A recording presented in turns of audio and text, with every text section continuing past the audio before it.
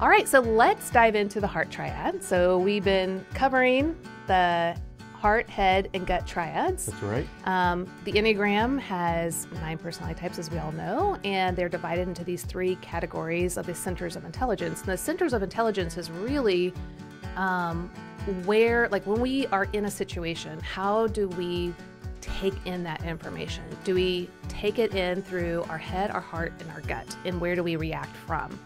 And so in this episode, we're going to focus on the heart triad, which are types twos, threes, and fours. Now, for these three types, they have an imbalance in their feelings. But again, they are going to. So funny whenever you say they have an imbalance in their feelings. That sounds like a diagnosis. Yeah. But, but we're not talking about that. This we'll, is, we'll, we'll dive into more what it means. That's right. Yes. Um, because the gut center has an imbalance in their gut reactions, Yep. and the head center has an imbalance. I in have an imbalance thinking. in my head. if I'm we know, we know. anyway, so, but this group, the twos, threes, and fours, have similar assets and liabilities in this thinking or the, in this feeling center.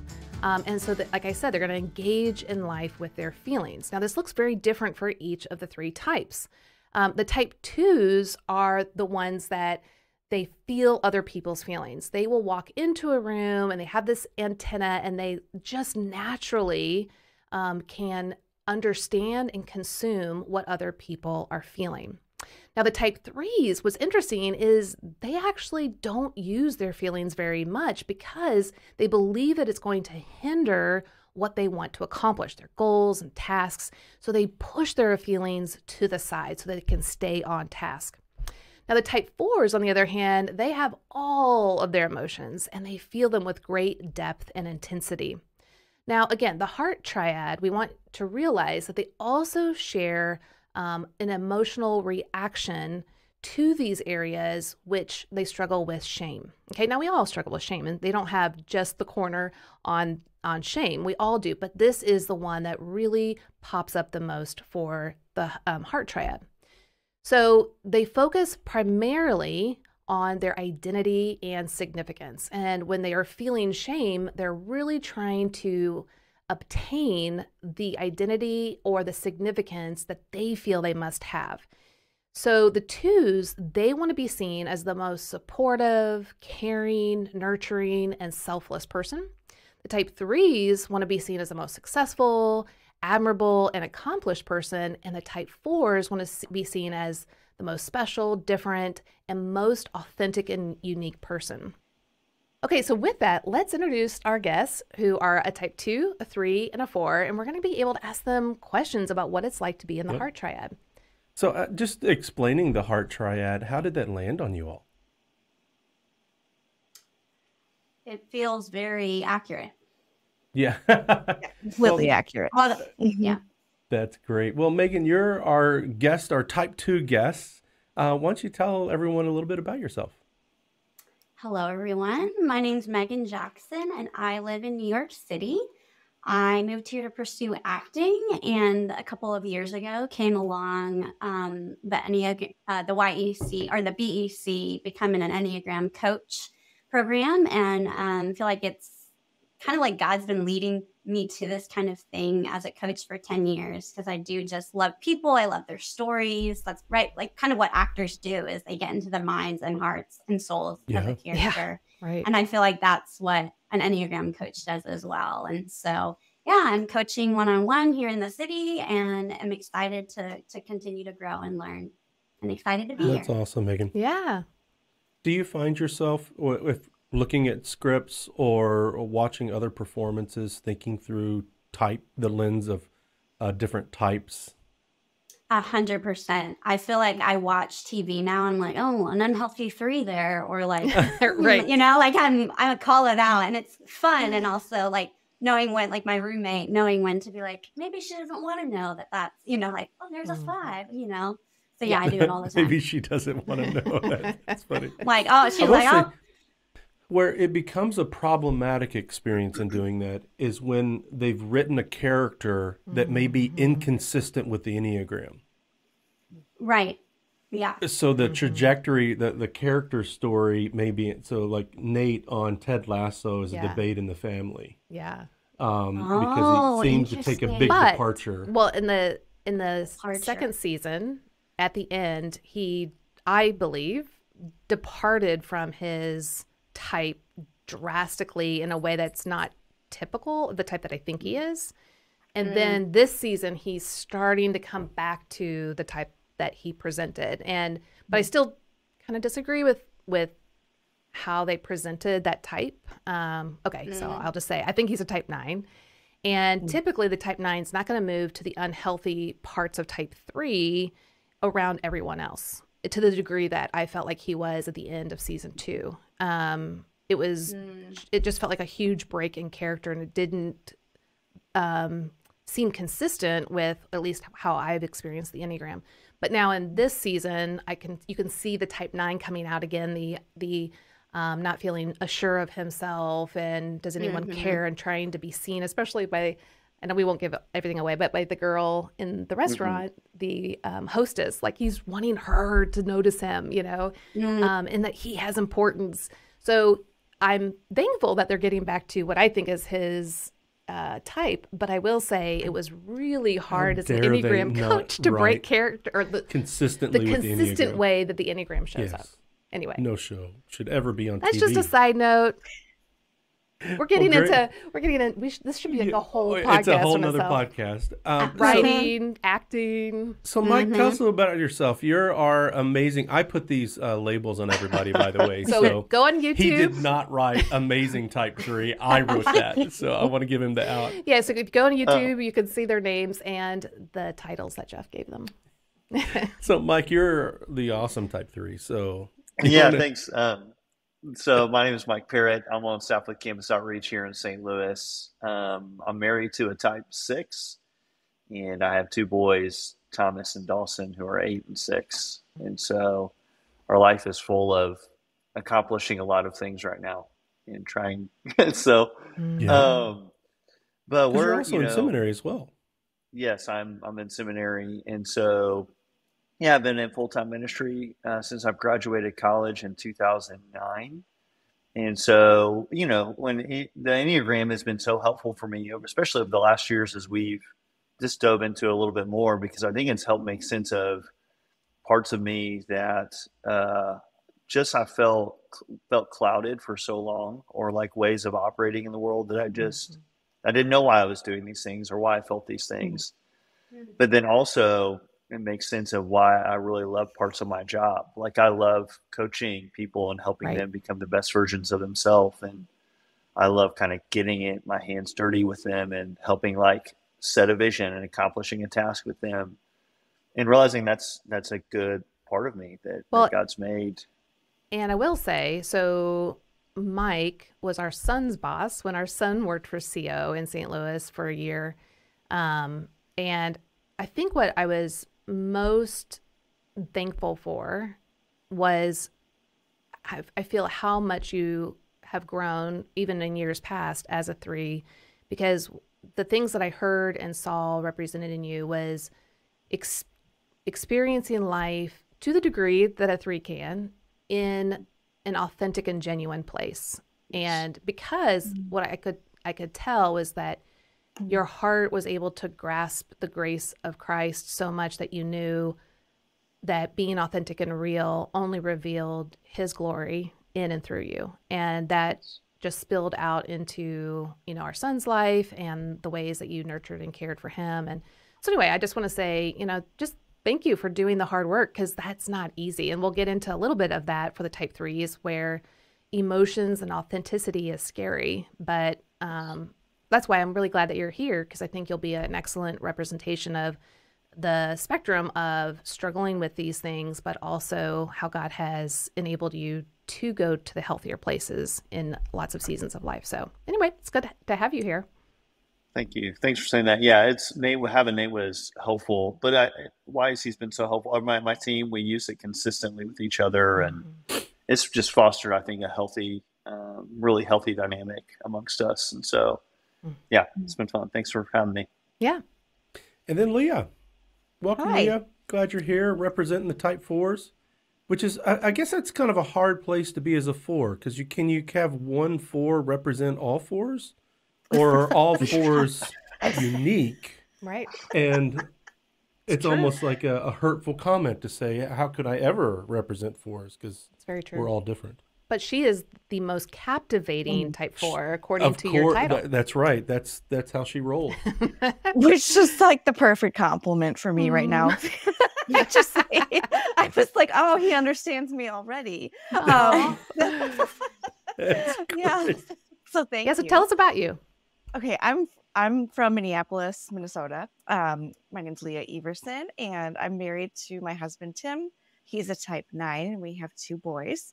Uh, my background is in pastoral ministry. I have my MDiv from Denver Seminary, and we were out there for 10 years when I was working in the church. And then we moved back and sort of had a crisis of purpose, like existential crisis. Fours don't experience those. Right. Um, and that was like Is that when on I your when I schedule every year to, to oh, have oh, an, weekly. yeah. But gonna no, say.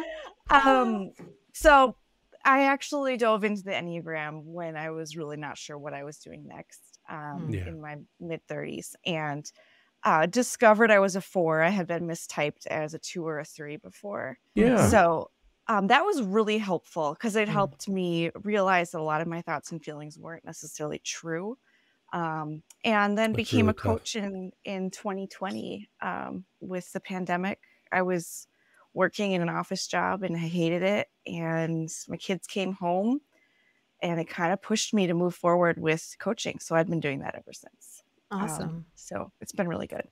Well, that's great. Well, yeah. So I'm excited to dive into the heart triad and help people to understand really what that even means for you guys, because each of you guys are so different in this triad. So we're going to take a look at type twos first, and we'll talk with Megan about that, and then we'll move on to Mike with the type threes, and then Leah will talk more about the type fours after that. So again, the the twos in the feeling triad they are the most giving and selfless types on the Enneagram. Um, they serve others really all the time. They're constantly thinking of others. What's really remarkable about the twos is, like I said earlier, they can walk into a room and they have these feeling antennas that really understand the needs um, and feelings of others that are around. It's funny you say that because we just had a conversation with our daughter this last weekend Mm-hmm. that when we were creating YEC, it was a very difficult time. Yeah, stressful. Uh, Mhm. And I hadn't secured another job yet. And so there was a lot of financial pressure. And so Beth and I would get spun out.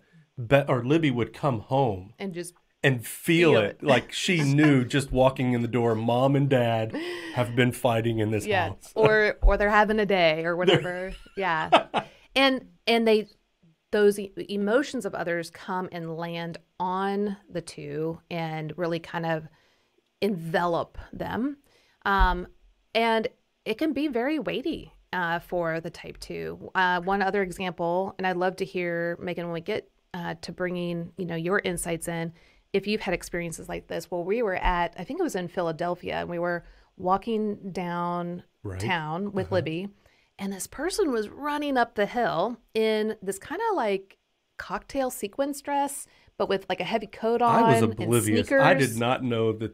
I barely remember walking past that person. Right. And whereas I'm Mhm. I'm I'm feeling this like as a nine, I'm like gathering like intel as well. Nines and twos do this.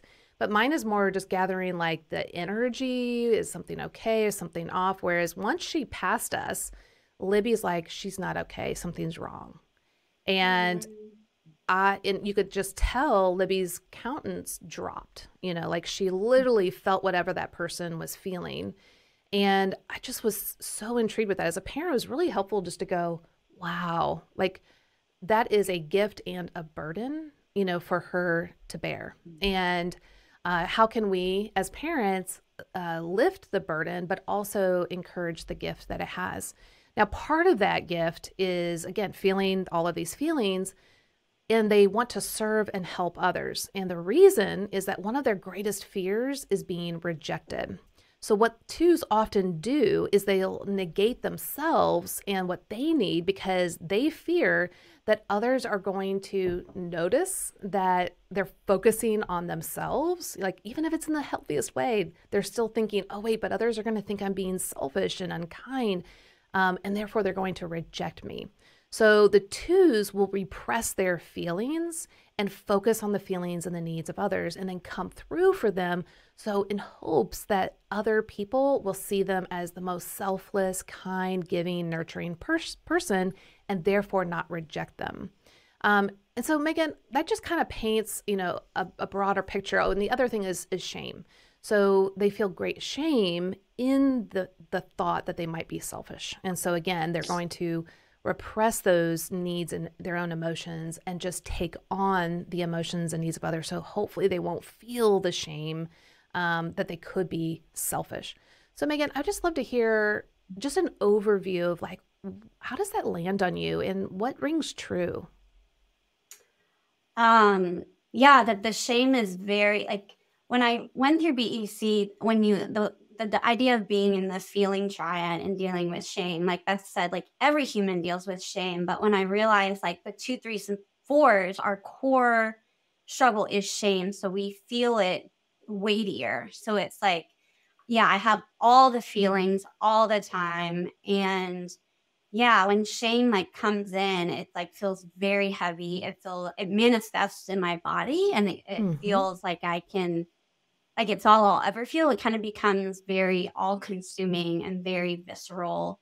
And so, yeah, so when I feel like I can't support or be there for someone in the way I feel like I should, which I think for two is being very careful of the shoulds, like you should have done that. You should have done this. You shouldn't have, right? Like, especially mm-hmm. with that one three, the three's like, you should, you got to get it done. The three wings like, let's, let's go. And the one's like, oh, did we do that right? Did we say that uh-huh. right? And so if I feel like I haven't said or done whatever it is, then it just like, and it hap- I mean, right? It happens every day. So even on Saturday, was feeling a shame spiral because I wasn't getting the kind of result or outcome I thought. And I was like, it's because you didn't do this. You did and I just, and so I have to being careful I think with shame, how how I talk to myself and also mm. being able now with awareness, now that I know shame is a huge struggle of being able to call it what it is of like, okay, this isn't gonna last, like we're okay. Um, but yeah, it feels like it feels very much very, very weighty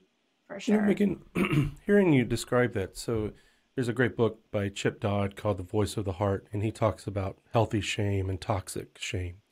Mm-hmm. But it, as I hear you speak, one of the things that really laid heavy on my heart is that you're you also have the two wings of the type one and the type 3 mm-hmm. uh, both very performance right wrong driven so uh, when you're starting to experience the shame how does the one wing show up for you whenever you're going in the shame spiral?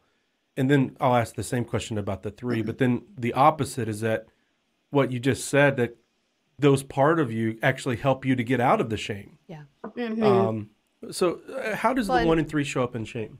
Can I just because I, I, to- totally want her to go into that, but what I want the um, listeners to know is that this concept uh, comes from our book, More Than Your Number where we use what's called Enneagram Internal Profile or EIP, that we have, we're more than just our main type, that we have connecting uh, parts of us, connecting types that influence us greatly, whether in healthy or unhealthy ways, depending on where our current heart condition is. And so for you, Megan, uh, two of these parts are the wings, which is your one and your three that you're, you know, speaking of.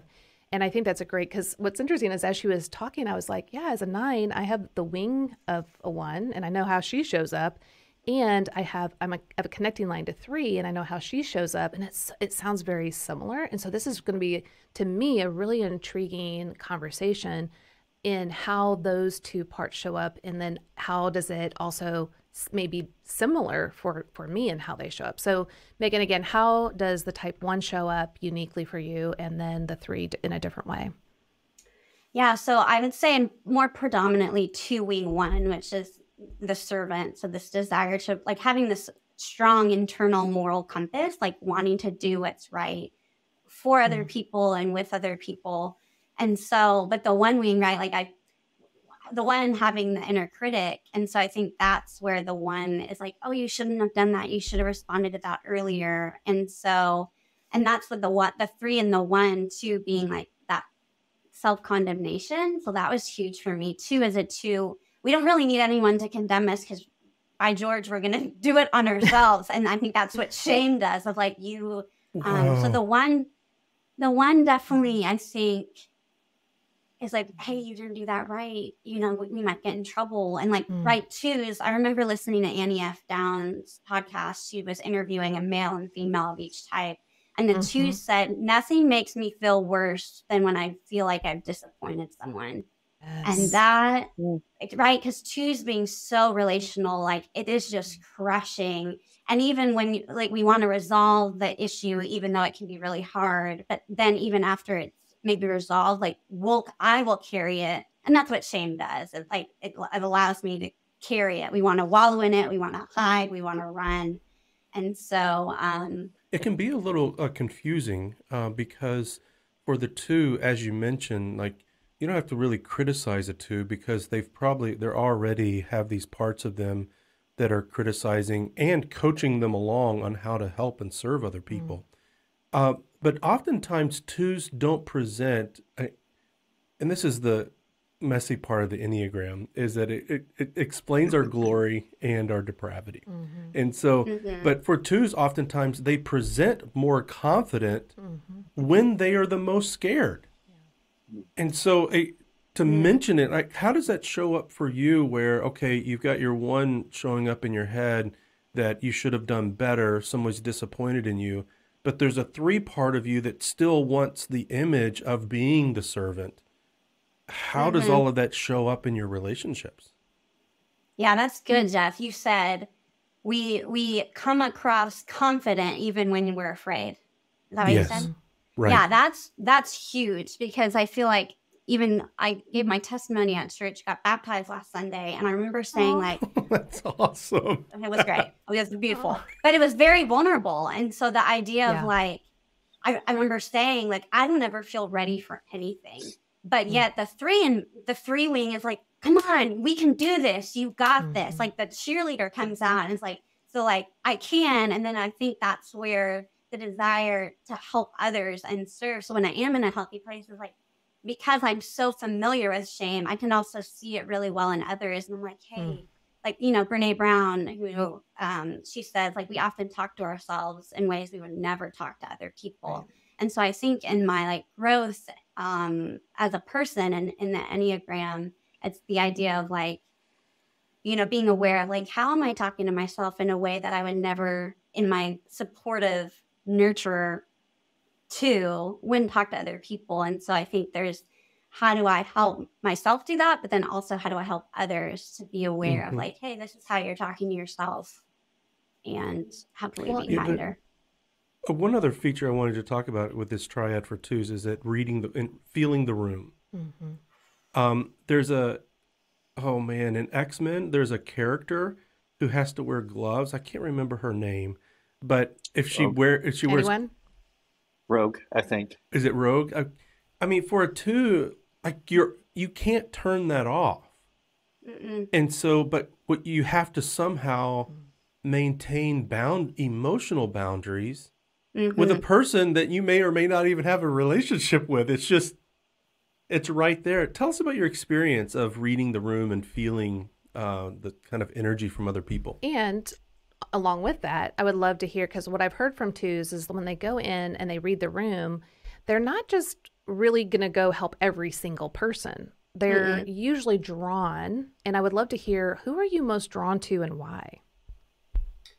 Oh, um, I think I'm drawn to the um the person who I sense there's like this sadness about right mm-hmm. because I can read the room I can feel the energy whether it's anger frustration sadness but I think someone that um and they don't have to necessarily visibly be crying but like ooh there's something wrong and even from a mm-hmm. young age I remember like noticing people at the lunch table in the cafeteria sitting by themselves so like, anyone that I feel is alone or sad. And just um, because I can sense that even more than they can sometimes, it's like in my two-ness, I'm not afraid to step into that where other people are like, oh, feelings. So, oh, why are you crying? Like, where yes. I'm like, I'm like, hey, what's going on? And, you know, usually people is will it, open up. Is it connected with the one of the biggest fears of a two of you being rejected and maybe thinking that that person is either feeling rejected or is being rejected? I don't know that it's that I I feel like oh I don't I don't want to be rejected, but there is this this innate deep sense of empathy of like I can't imagine what that's like, and so it's mm. this ability to really like put myself in their shoes. I mean I can't mm-hmm. fully do that, but I think right we talk about like eights offer their will, fives offer their mind, and twos offer their heart. And so I think in those moments when I do connect with someone, I'm just, I am like, it's just like my heart, it's like my heart, I can't help it. It's just like my heart is mm-hmm. going. Um, mm. And that's when you were sharing Libby's story, that has been a journey of me living in the city, right? Because mm. there's homelessness right. you know, any big city, but I think post pandemic, it's up more and so, um, and you're walking right by it. There's an outreach program here in the city called Don't Walk By. And it's the idea of like, let's not walk by our homeless friends. Right. But like, if I were to not walk by any, I'd be doing that all the time. And so it is like also being in tune to the spirit, which of like, and I, ha- I have lots of different stories of what that's looked like. You know, a woman like wailing in the rain, and I stopped to talk mm. to her and then took her to McDonald's and we had a meal. And so, like, that's what twos can offer is like this presence of allowing people to be felt and seen and understood. Wow. Um, now, Megan, did your family, how did they relate to that gift hmm. of feeling other people? Did they affirm that gift? Were they frustrated by that gift? I would definitely say they noticed it. Like, because I was always like a yeah. really sensitive child. And like I often joke, like if anyone's had a conversation with me for five minutes, you've probably seen me cry.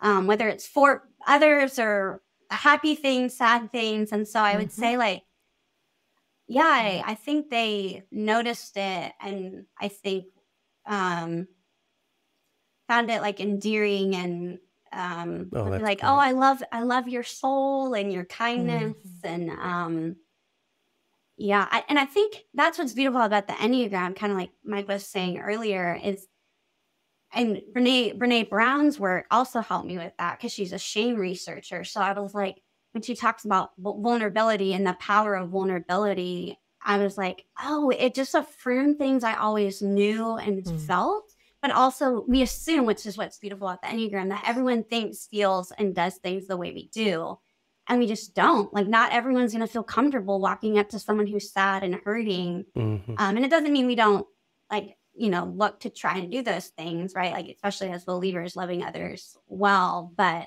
it's also like oh that's an innate gift in me. And so how do we nurture that? And then how can we encourage others? And um yeah. Well, in wrapping up just the twos, I'd love to see also using the Enneagram from a gospel centered perspective and what that's meant for you in being in the feeling triad. So, the fear of not belonging, being rejected, um, not being wanted and loved, and yet Christ has stepped in and completely shown all of us, but you know, we're talking to you specifically how he has pursued you, he wants you, he loves you unconditionally. Mm. How has that impacted your heart and and just how you then move through life? Yeah.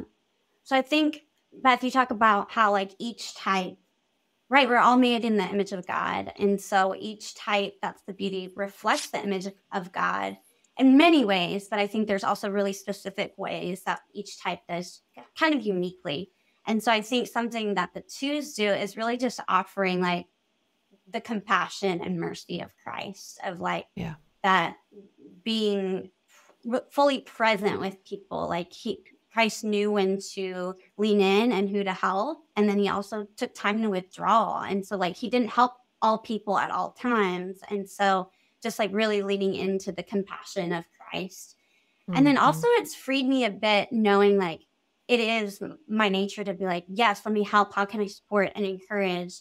And so, like, when you have passages that are like, serve and do nothing out of selfish ambition, and I'm like, oh, choose, you know, and so it allowed me to like allow some like grace of like, don't hear that as like, we got to go serve, we got to serve yes. It's like, yeah, okay, you know, and something that I remember my pastor said in a sermon like about three years ago in the midst of the pandemic of like, Jesus is the hero, mm. Megan is not.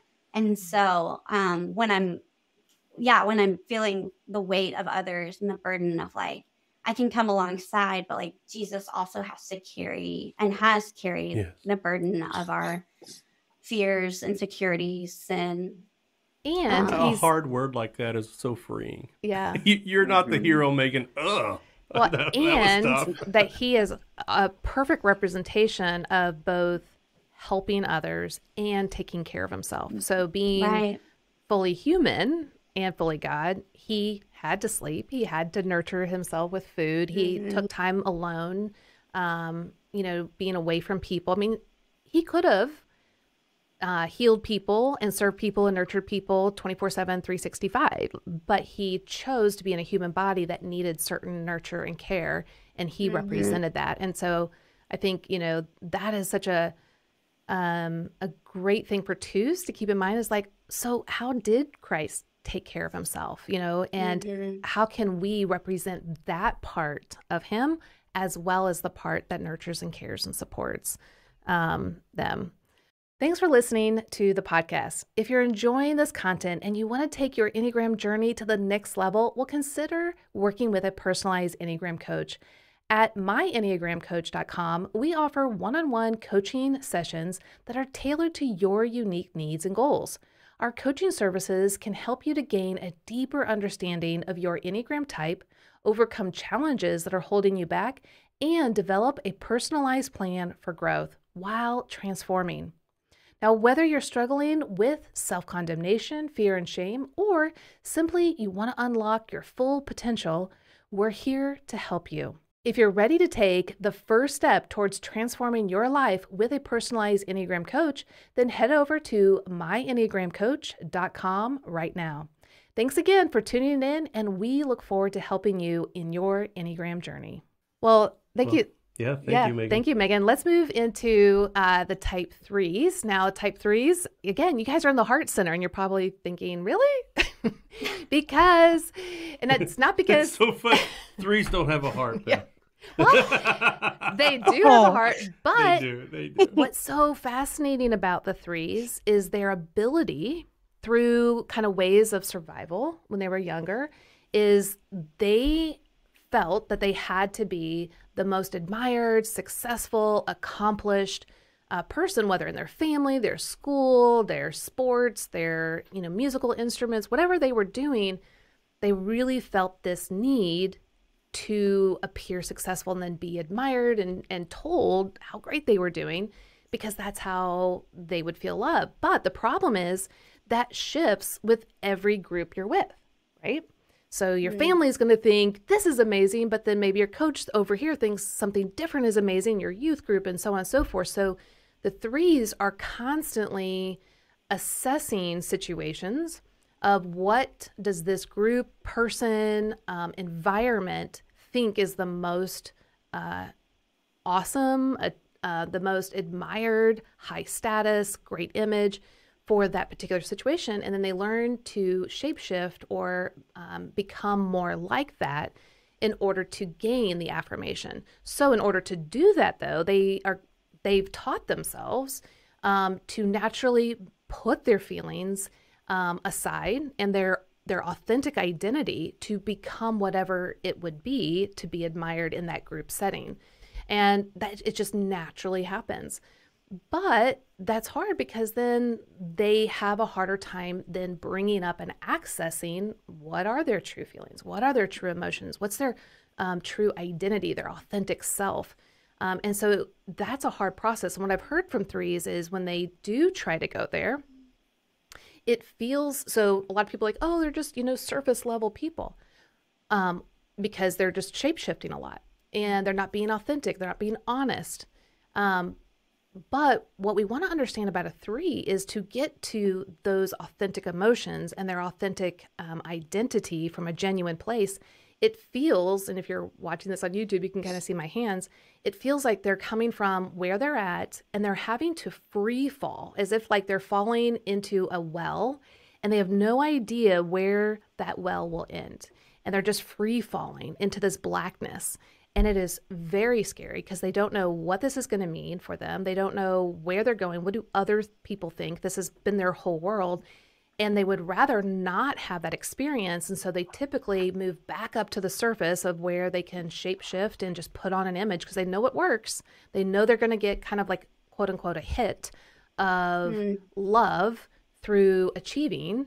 Um, versus taking the time to allow themselves to rest in the, the gospel, rest in the love and the admiration that God has for them because of how He created mm. them and what He has done through them, which is that free fall. And then they land into the knowing, the full knowing of, oh my gosh, I am loved for simply being me. I don't have to do all this stuff. Like He sees me fully and accepts me. Like, and that fall is so hard for them because it's just too scary.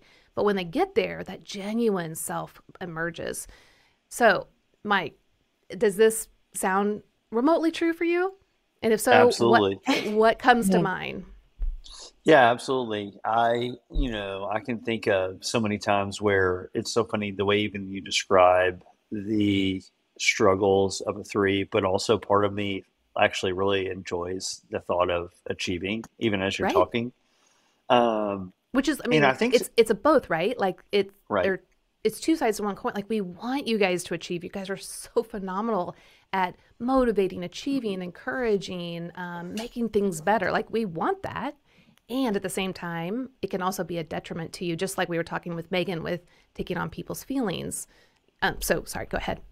No, you're right. And even as we were, uh, as Megan was talking about shame, I was just thinking about even my own, you know, story and think about the wounded child and just kind of my, uh, why I'm so, or at least as I've been walking through life, the proclivities I have towards why I value certain things. So, for example, you know, I was an athlete, but it was never enough for me just to be a good athlete. I always was comparing, am I the best athlete? Mm-hmm. And if I wasn't, then I had to double down and work super hard mm-hmm. at, and that was my gauge. Because of what? Like, what, yeah. So, what was like maybe as a um, kid, what was your thought? Like, well, if I'm not the best and I have to work harder because. Yeah. So some of that is my own growing up. So I was born with a cleft lip and palate, and just you know the you can imagine for a three, as a young kid, all the mm-hmm. kids kind of pointing out. Uh, uh, birth defect that you have, it just reinforced that I'm not accepted, I'm not loved. Mm. But I was a good athlete. I could, mm. I was more, usually more athletic, faster, taller, stronger than most kids. And so that was my end yeah. is to, at, whether recess, whether it was with sports teams, I'm going to be the best. and I just can't be good because to get in that circle, to be accepted, to be approved by other people, mm-hmm. I have to accomplish and kind of do different things and you know that uh, played its way through through a host of different things as I was growing up. But even as I became a Christian, you know, my freshman year of college, then I found myself, you know, in taking a Christian form of different things. Mm-hmm. You know, even though I knew I was accepted to Christ, I learned very quickly coming into a certain Christian group. Okay, here are the practices I need to do. Here's here's how good I need to mm-hmm. perform, mm-hmm. and then I'll get affirmed by these people I value in the Christian community too. And Mike, I, I don't think I've ever shared this with you, but uh, so I had been loosely tied to a church growing up. They would invite me to VBS and youth camps, and and I'd usually make a profession of faith and want to turn my life around uh, at each of them. but uh, it it wasn't until my I don't remember that was junior or sophomore year, probably sophomore year, no, it's probably junior year. Yeah. Um, but I, I just, I, I, was trying to go get a date with a girl who went to that church. And um, so I went to church that Sunday, and my parents were like, I, am going to land the plane. It relates to three. But um, I'm not trying to tell my high school dating uh, history. But it didn't work out. And, but I sat there in the church service, and uh, Jesus showed up and like the scales fell off. My heart was free. I rose, went forth, and followed thee. Right. Um, I mean, I just quoted that. I Like know. that was That's one of my pretty favorite songs. That's And awesome. can it be? Here. oh, there you go. Um, so I go out to my car. I take out my Metallica Master of Puppets cassette tape. Um, and this is my Your, sinner's your prayer. three part came out shining. This is my sinner's prayer. God, I'm going to be the best you've ever seen.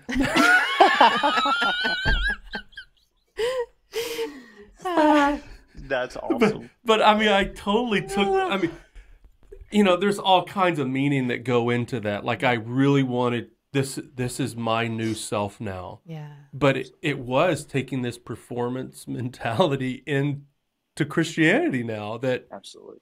Eh, where even our faith can actually be a symptom of our performance heart. And with that, hearts. what I'd love to hear in kind of relation to the heart triad with that is, Mike, tell us what it's like when you see those aha moments of, oh, I'm going to get praise or accolades or um, be admired if I take on this image. What is it like when you have that aha moment and you then, your inner world goes, oh, well, then I need to move that other image to the side or my authentic self to the side or my emotions are going to get in the way so I can get to that place. What it what does that feel like internally to shut off emotions and your identity? Yeah, I uh it's so when I'm struggling, it's funny because I I want to I feel like I've been seeing it in two ways, and one way I actually wanted to ask you about, but the first way um, I've I've seen it is I literally just inwardly think, okay, let's shut this down, and then just go accomplish this or do this. Like you can do Mm-hmm. this, of course you're going to do this. Like this, and you know it's going to It- feel it's really that good. strong of a pivot. It's like, okay, done. This is what's Yeah. required. Yeah, there have just been times where I felt, you know, uh, whether it's I'm going to be exposed or whether, you know, um, these people are going to say this about me or whatever, I can just inwardly like, okay, it's time to take that box, close it, set it on the shelf, and you know, you just got to get to work and go do this thing. And um, and you know, in those times, I think I feel I feel inwardly clouded a lot is the way I describe it is that my thoughts are I feel a sense of hurry. So if you know, I always tell Yeah. Tracy, um, and even my staff team, if I feel like I'm talking faster or if I feel like I'm in a hurry, it's because inwardly I'm feeling as like something's happening where I'm feeling shamed or I'm going to be exposed, and so I'm just trying to accomplish something to like suppress Mhm. those feelings. so Mhm. like the box is like popping open that I've tried to set aside. Um, but that's Mhm. usually what's happening for me is that I feel super clouded, um, just even in my thinking and um, speaking. But the other way I've seen it uh, re- more recently pop up is um, I've been accessing that almost like when I need to for motivation. So I set it aside and I'm like, okay, well, they're going to say this about me, but I don't know if it's like the athlete in me where it's Mm. like they're going to say this about me. So let's get that and I'm going to go prove them wrong. Mm. You know what I mean? Like I'm Yeah. going to go like So it's a motivator. It's a it's a motivator. yeah. And then I'm going to rub it in their face and they're going to say this and this about me. and so. it's so funny as you guys are talking because um, it'll be interesting with with Leah because I don't have as much like because we use all nine types. Uh, I don't have as much four, but obviously Hmm. when um, Megan was talking about the one and the three, those are connected to me. And Mike, as you're talking, I'm like, oh my gosh, like the I was just thinking when you were like, I'm in a hurry. When we're at the airport, Oh man, she is like zippy.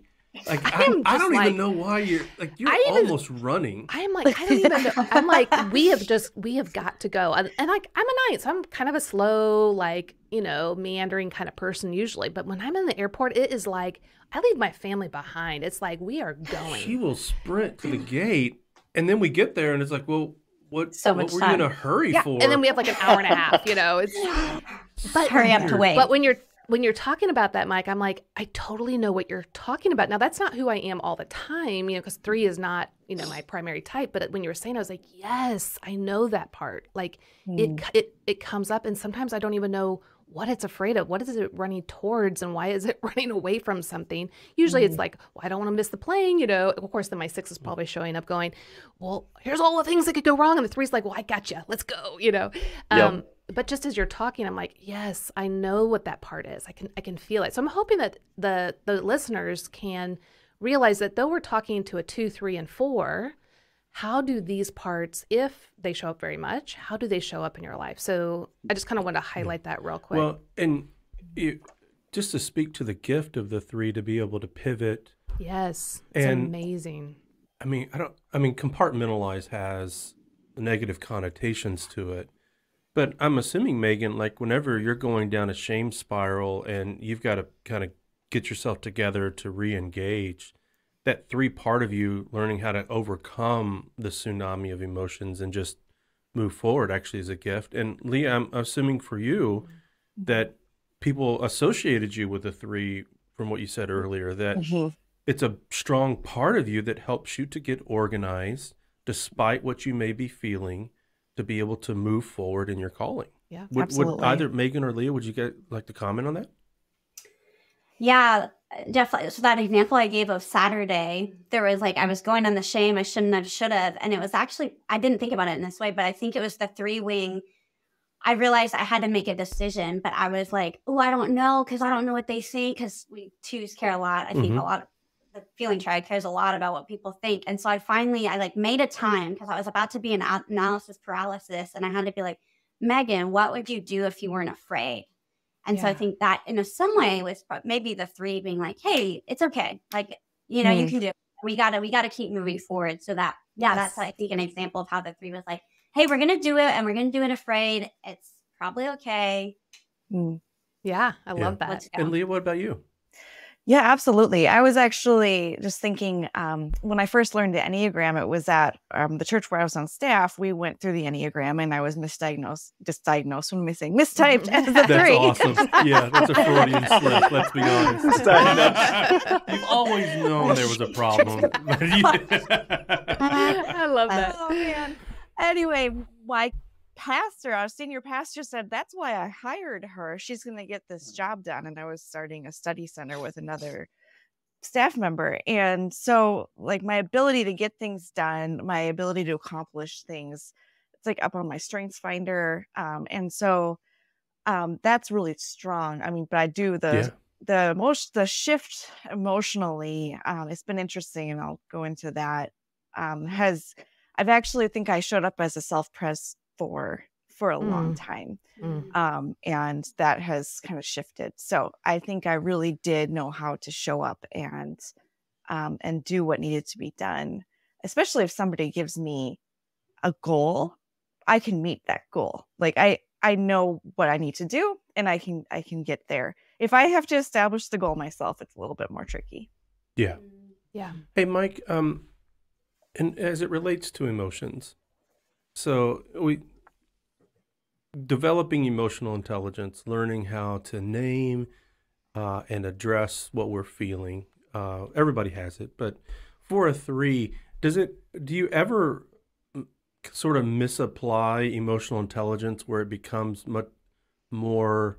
Like you're accomplished in your ability to name your emotions. Like, man, I Yeah. am the best at emotional intelligence. Yeah, absolutely. I mean, it's funny, even the thought of healing. I've thought about this a little bit that I think of healing as a path like this. It's just, Mm. it's, well, that's what it means to heal, is you've Well, is learned. that? I mean, that's and pretty you're much just- your Oh. everything in life, right? It has to. Right. And, Ugh. and for those who are listening, he is showing a upward trajectory, like on a graph. You know, like we are That is moving towards awesome. hundred percent right up. success.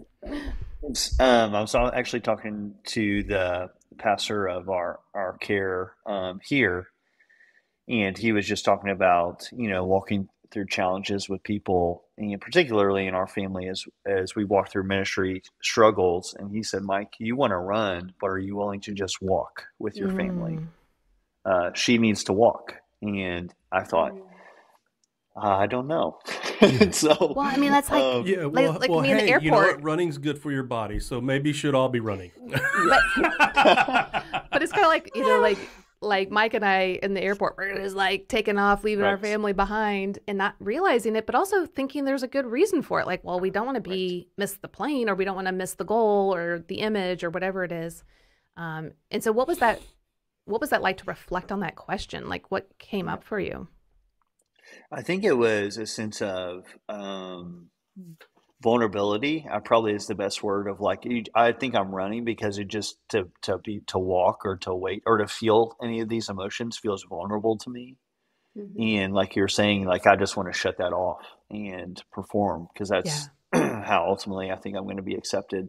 But it's but it's interesting because you know if we think about even the gospel and what Christ has done and how it's worked in my own life is that like just to face it like you know jesus says blessed are those who mourn like i think Mhm. just like the reality of facing you know my failures but not only that just facing the shame and guilt and realizing that i have the resources of the gospel and that i'm united to christ like that that's who i am Mm. and i Mhm. think even as a leader and follower of jesus that Mhm. what I've and this has probably been one of the biggest points of growth over the next last few years for me is that not running from that, but sitting in that and realizing, okay, like, but I'm still loved and accepted in Christ. And then that actually propels me outward instead of then I'm propelled through the strength of Christ rather than my own strength. So then I don't overfunction as a leader and I'm much more secure. I feel like that would probably be the biggest word that I think my family and those on my staff team would say is that you know, as I've walked through some of these things, if I'm just a more secure leader. I'm not Mm. like It's operating interesting, out Mike. of all that. We talked about this with Megan earlier that when she's feeling the most insecure, sometimes it comes across as more confidence. And for threes, I think everybody just assumes like they're confident, they're secure in who they are, and Mm. they can run. When in reality, um, and I think you know my good friend Travis in St. Louis, but Mhm. we saw a guy running uh, on the highway next to the seminary. Oh, that's right. or he wasn't on the highway. He was on a service road. And and then like just a second later a cop car drives by uh, with its lights on and travis says you know what? We admire those who are running but we never ask what are they running from? Hmm. and and it, it when hearing you say like you know at times it, it feels like yeah I'll, I'll portray confidence but inwardly i'm actually very afraid and and just one last thing, and we'll go to type four. You know, Mike, your your willingness to engage in your heart Mm. has been a gift to our son. Yeah. As you shepherded him from experiencing spiritual harm and still having a desire to serve Christ within ministry and then mentoring him for a year. Like I, I you know, as a father, I want to be all things for my kids, and the and and I never can be, but the Lord has put men like yourself in Nate's life that have had significant um, uh, blessings in his life for healing, Yeah. and so I. I'm just grateful for the work that you've done. It, it has mattered. So if, if you need another trophy, the McCord family is a trophy on your shelf Mm. about doing the work and blessing our children and helping them Mm. uh, along the way in their own stories. And I think that's what's Yeah, so, so. awesome about when we, because the Enneagram often, when we start learning it or reading it, and when we're not in a good place in our heart, we just see everything that's negative about ourselves and highlight, right? And, and it's just like blaring at us. And then we get into those shame cycles or criticism cycles. Um, but a lot of times we miss the beautiful side of our type. And I remember when we were first learning about the Enneagram, I would, there was one book that talked about all the different nine levels of health. And I looked at the, the healthiest levels and I'm like, that's not even close to where I'm at. And, but I was like, wait a second, but that's still who God created me to be and how to reflect Him. So I'm just going to take the time to pray these things over myself and knowing that God will work those in me in His due time. It was very interesting. Beth would walk through the house. Uh, people listen to my voice. I did I not. matter to people. did like, not. well, sure, Beth. Like, I'm- she didn't do that. Like I'm embarrassed just you even saying it. I'm like I would never do such a thing. Um, my voice matters. um, but in all seriousness, I think it's important that we all recognize when God has worked in and through us that it is not about ourselves pulling ourselves up by our bootstraps and fixing ourselves. It's about us surrendering, depending on Him and the work Christ has done in and through us um, now and moving forward. And uh, Mike, that's truly what, because I know we could sit here and we could say, kudos, Mike, good job, you know. Um, but ultimately, I think what we're saying is we've seen you as a three humble yourself, recognizing your need for the cross and your need to be authentic and real and that you're safe in that which gives you this the gives other people security and safety in you and so anyway i just hope that other threes will will hear that as well ready to, for type four Ready for type four. All I mean, right. is Leah ready for type I don't four? know. I'm ready. It's getting pretty personal here, Beth. This is a yeah it's a good one this is a good one Mm. Well, yeah. So fours, you know, being in the heart triad, um, they have no feelings. No, no, I mean it's the complete opposite. Fours feel all of their feelings and then some, um, the highs and the lows and everything in between. Um, and they're constantly searching for depth, intensity, beauty, um, whatever's authentic and real um, is really where they want to go. Now, for them, they struggle with the feeling of shame.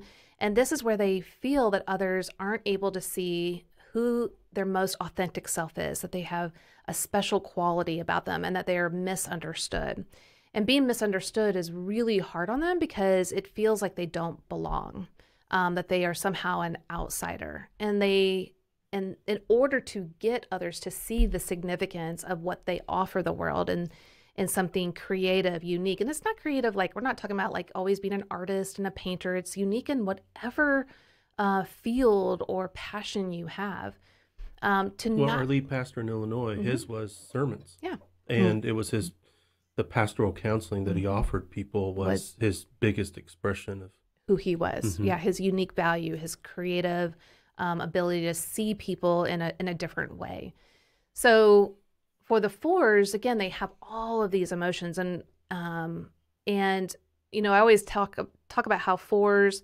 It's like you know the the lottery machine with all the ping pong balls in it. Mhm. Well, they have all of these emotions inside. They're very aware of what these emotions are, and if you would love to know those emotions, like, hey, what are you feeling right now?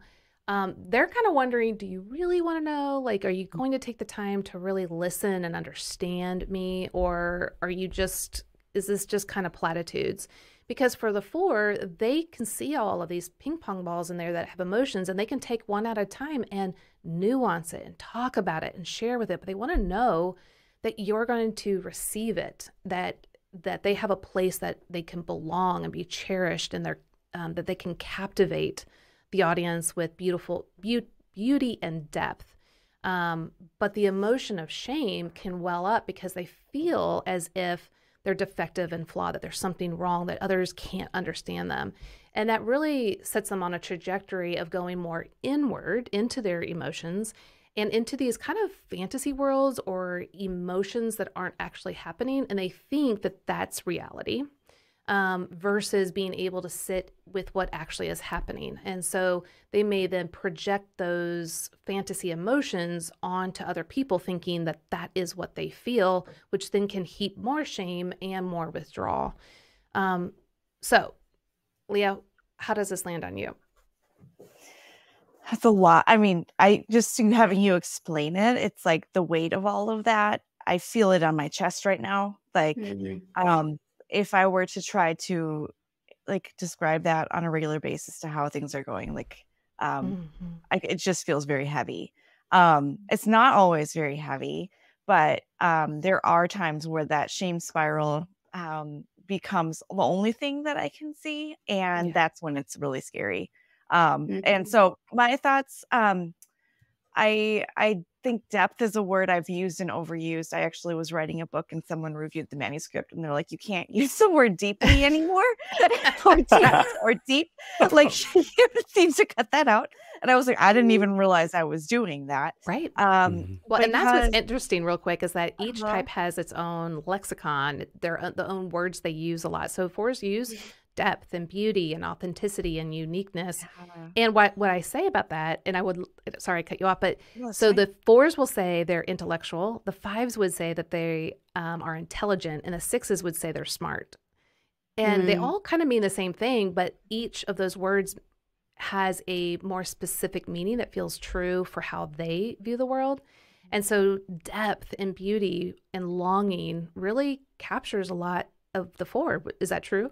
Oh, absolutely. Absolutely. Longing is a word that um, I resonate with constantly. Like I'm always thinking there's something missing um, or like things are not quite the way I want it to be or that it should be. So I'm looking for um, like it's it's good for pulling out like the redemptive qualities and things or like mm-hmm. we're gonna we're gonna move forward from where we are but if i can't find that then i start to mm-hmm. believe that nothing is going mm. well or can go well and mm-hmm. um and most often that is has to do with myself and like who i am and seeing that something's missing in me um i really re- related to brene brown's um description or definition of shame as being there's something wrong with me mm. uh, because that that's what resonates that's exactly how um, that's how i felt for a very long time and i can go there pretty quickly if i'm struggling.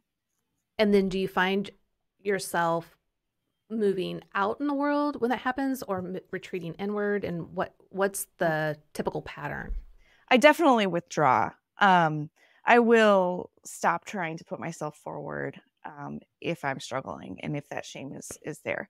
So um, it's a growth step for me to move forward to put myself out in the world. And really, I've learned that like my body, I need to engage my gut. I need to engage my body physically in order to move emotionally forward. So whether that's exercise or I learned from KJ Ramsey um, tapping or you know some sort of something that gets me out of my head and out of my heart so that I can process it at a, at a different level.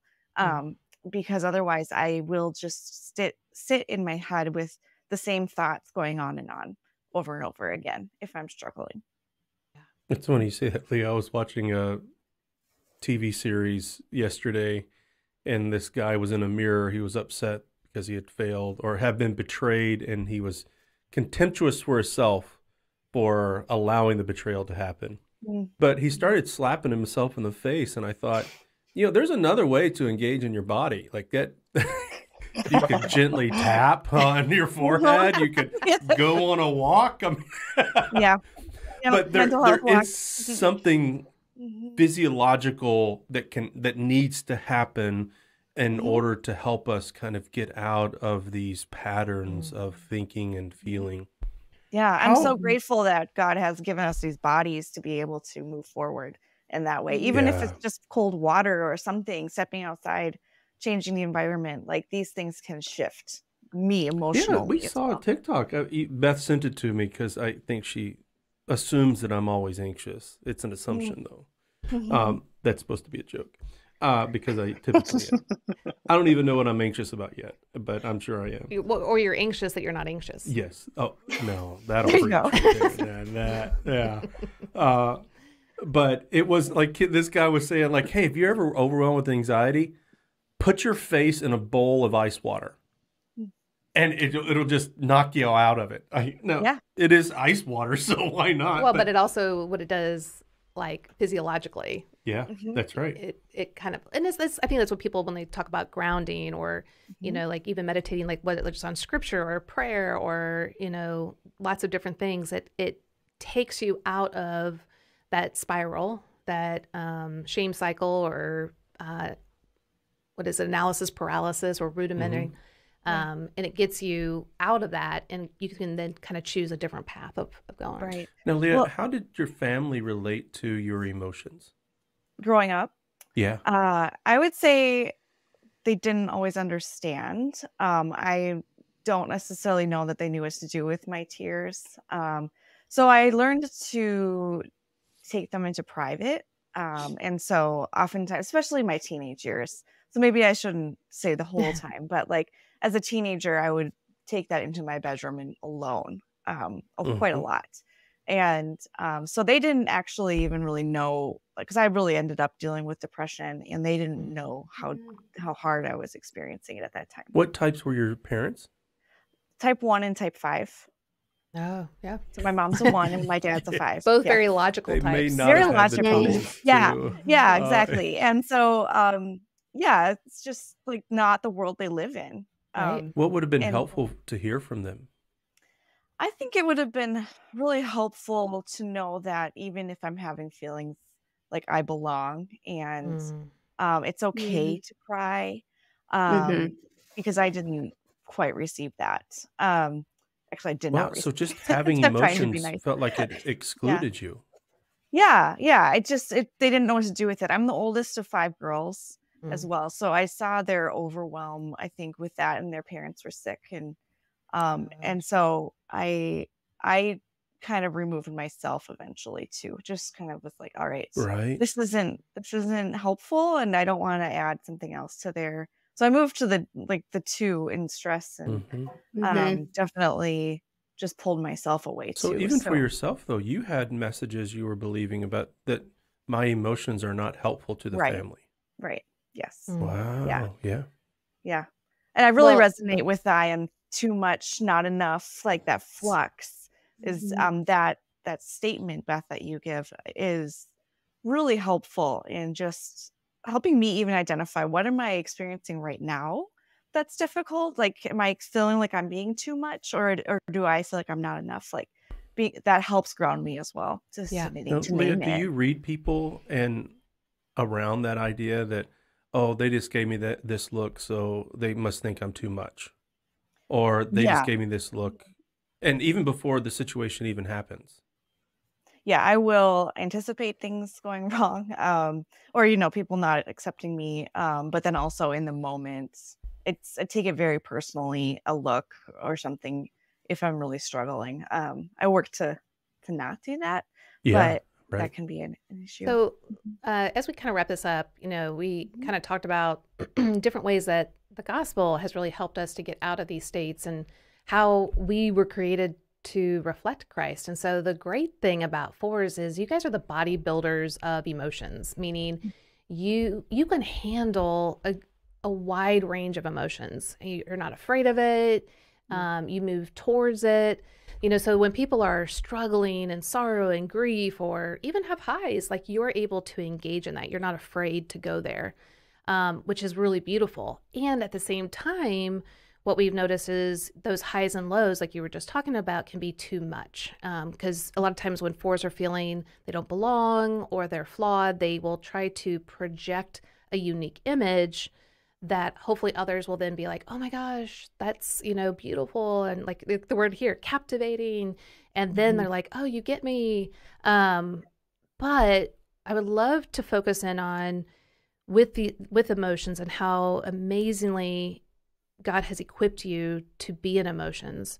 What it also looked like for Christ to be in emotions. So for mm-hmm. fours, because we're humans and mm-hmm. you know we're on this side of heaven, those emotions again can be either genuine and true and helpful to others or they can be self-focused and temperamental and overwhelming whereas christ is our great representative of what it's like to deal with emotions and i think the garden of gethsemane is such a great place to see how emotions are wonderful they're beautiful they like he had so many emotions and so much stress that he was sweating blood and so he didn't shy away from it. He entered it fully. He could have been like, I'm out. like, I don't want to do this. But he mm. not only did he enter the emotions, but he exhibited the highest quality of four, which is equanimity. So we're not saying Jesus is a four, but he just he showed emotional balance. So that what that means is we're not getting rid of emotions. Right. We're embracing the emotions, but we're not allowing it to control us Mhm. and that is what how Christ represented emotions so well. Can you tell us like what it's been like to move into that healthier place to Mhm. still feel emotions but it not um, take hold of you? Yeah, I spent a long time feeling like my emotions were controlling me.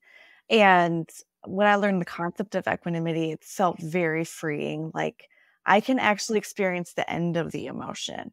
So rather than like I'm learning to to experience my emotion and learn from it and go, what is it trying to tell me here? What am I what's the message I'm hearing? Really taking through aware. Like I learned a different process before learning aware with you. Mm-hmm. Um, but really Aware's taking pretty awesome. So it I don't is. know if you like it's very helpful. I use it. Yeah, but just this what am I feeling? What am I thinking? What's the story I'm telling myself? And listening to my emotion because that will tell me what's going on rather than believing that what my emotion is telling me is the truth about my situation. So the emotion, if I'm feeling like everything's going wrong and um, I'm believing people don't love me, well, maybe I'm stressed about something that happened specifically. Maybe I can explore that a little bit with some curiosity and and see if it's actually true. And usually, I can find some sort of pattern that Mm. um, that I've I've known over time that oh, that's what's happening. I was triggered because I felt like um, I felt like I really screwed something up with work, or um, my husband looked at me and probably didn't see me the way I wanted him to. And so now I think he doesn't love me. Well, really he does. So Mm. like just letting just letting myself um process it and and get to the end of it. And um not being afraid of it has been I think a gift in my relationships and just being able to be there with other people. I I say being able to sit with people and their hard emotions is like a superpower for me because I'm I really am not. I would prefer to spend some more time in your harder emotions than to hear how everything's going really well in your life. Yeah. And um that that is a better experience for me. Mhm. Yeah, I just think, you know, just thank you so much, guys, for just being here, showing up, um, being like real with your struggles, but also where God shines, you know, brightly through you and how it blesses others. Um, and I hope that, you know, our listeners have been able to really gain a better understanding of the heart triad and how you guys have similar uh, strengths around your feelings, but also the liabilities that come with it, um, and how shame pops up and your desire to be seen in a very specific light. Um, so hopefully this series has been really enlightening for people. Well, tell us where people can find you guys as Enneagram coaches, um, because there might be specific types out there that are like, oh my goodness, I would love to work with uh, them um, as a coach. So Megan, let's start with you as the type two. Uh, where can people find you? Yes, so I am in the YEC Network Coaches Directory, so you can find me there. And then you can also find me um, really most places. So Facebook, LinkedIn, TikTok, and Instagram at Megan Jackson. My name's there, M E G A N Jackson 444 is my handle. 444. All right. Um, and just for, we'll probably say this again, but for the directory for all of our coaches, certified coaches um, that are in there, it's my enneagramcoach.com and then you would just search for their name so again it's my enneagram coach is where the um, coaches directory is all right mike what about you Yeah, so you can find me in the YEC uh, coaches directory as well. Um, and then uh, we have a website, costl.org, where you could get in contact with me as well through that. Yeah.